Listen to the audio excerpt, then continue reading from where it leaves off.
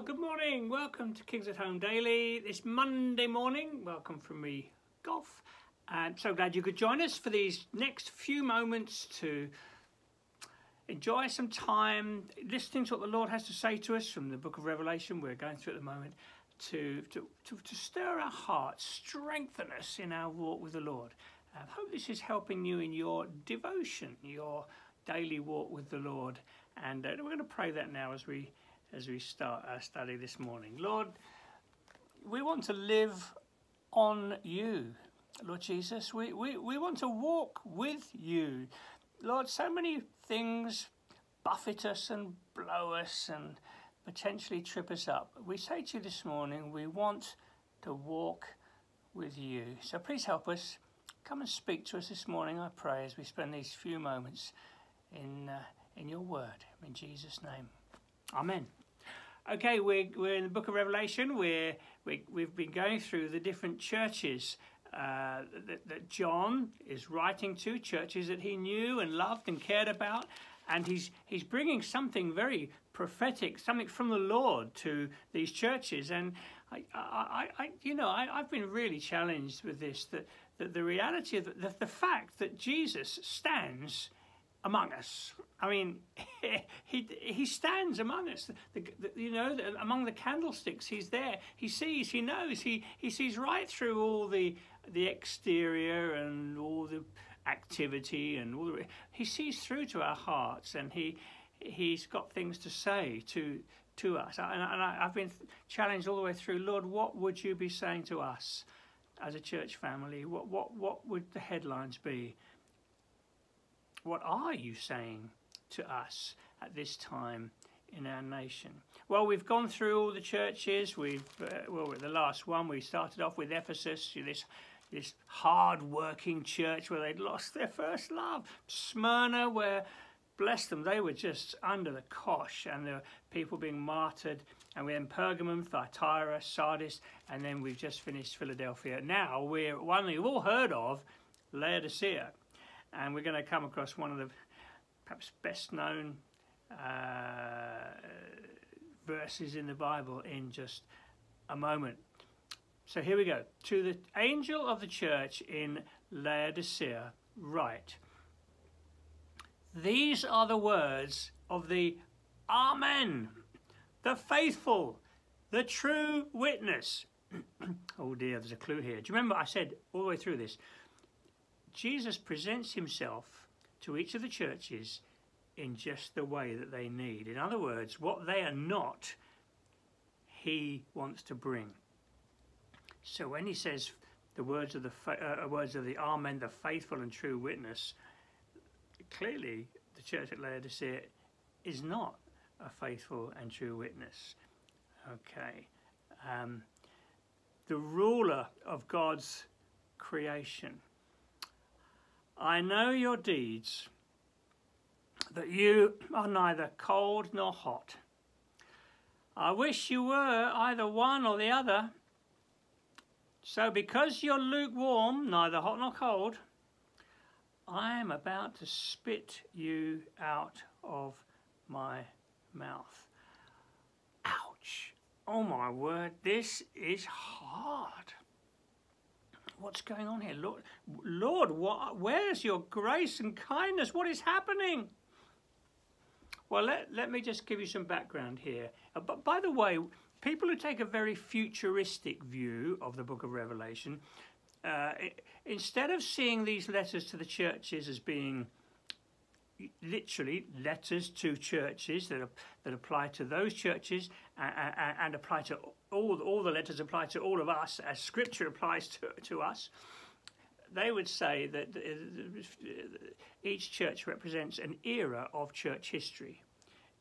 And of course, they then conclude that we're, we're the last age of church history, we're the Laodicean uh, church. Well, you know, uh, while the, the, the, you know uh, that there might be some truth in that, the fact that, that, that a lukewarm church in our day, we can also we would probably also mm, yes, it can be a bit like that.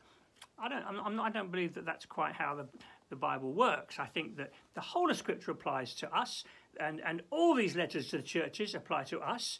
Uh, and at, at, any one time across the nation, the nations, there will be churches like all of these churches we've been looking at. Plus, and here's the important thing I believe that Jesus is coming back to a glorious church. He's building his church, and he will be coming back to a, he'll, he'll come back to a, a glorious church, the gospel having gone out to all the nations. That's not to say that in some places there'll be lukewarmness. However, as I say, I think he'll also be coming back to, to a faithful church who are ready, waiting, longing. Okay, so let us see.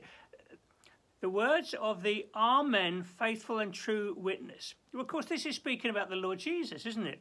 Is it one, is it two, 2 Corinthians 1, I think it's in 2 Corinthians 1, where, where it, it, all the promises of God are yes and amen in the Lord Jesus. Is that right? I shouldn't quote scripture but uh, incorrectly, should I? 2 Corinthians, uh, let me have a quick look. I hope I've got it right. 2 Corinthians and uh, chapter 1. Uh, oh, sorry, I'm using up valuable time here. 2 Corinthians 1 and round about verse 20. Boom, boom, boom, um, um, for no matter how many promises God has made, they are yes in Christ.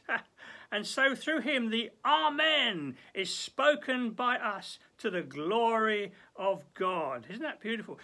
Now it is God who makes both us and you stand firm in Christ. Isn't this beautiful? I, I, I got to read that again. It's, it's great. Glad I turned here, you know. No matter how many promises God has made, they are yes in Christ. They're sealed. They are they are affirmed uh, and they, they reach their fulfillment in the Lord Jesus.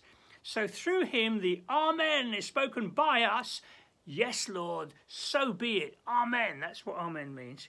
So the Amen is spoken by us to the glory of God. Now it is God who makes both us and you stand firm in Christ. Isn't that uh, God? That's great to take hold of that this morning. If you're, if you're wobbling, feeling insecure about your life and your, your future, I know I've gone off track a bit. Blow, let the Holy Spirit speak to us. He anointed us set his seal of ownership on us. Isn't that great? And put his spirit in our hearts as a deposit, guaranteeing what is to come. Oh, I love this. I, do you know, in my if I would this if this were my devotions, this is, I would I would linger now at this point. You often find the Lord leads you. You know, as you're reading, you might you, you might be starting off in Revelation, and then you oh crumbs, my time's nearly gone, and, and then you, and then you just find yourself going somewhere else. And I, forgive me, I, I'm, I'm, I'm gonna, I'm just gonna, I want to give this word to, to, to, to us, some of us here this morning, because I feel God speaking to us. This yes and amen. Jesus is the amen. He, he's the one who, all the promises of God are fulfilled in Him. And, and we say amen. We affirm. We say, yes, Lord, I trust in you. And we need to do that regularly. Lord, I'm trusting in you. It might be wobbly and hard, but I'm trusting in you. And the Lord loves it when we when we live like that. It's and it's God who now it's God who makes us both but both us and you stand firm. He's going to keep you.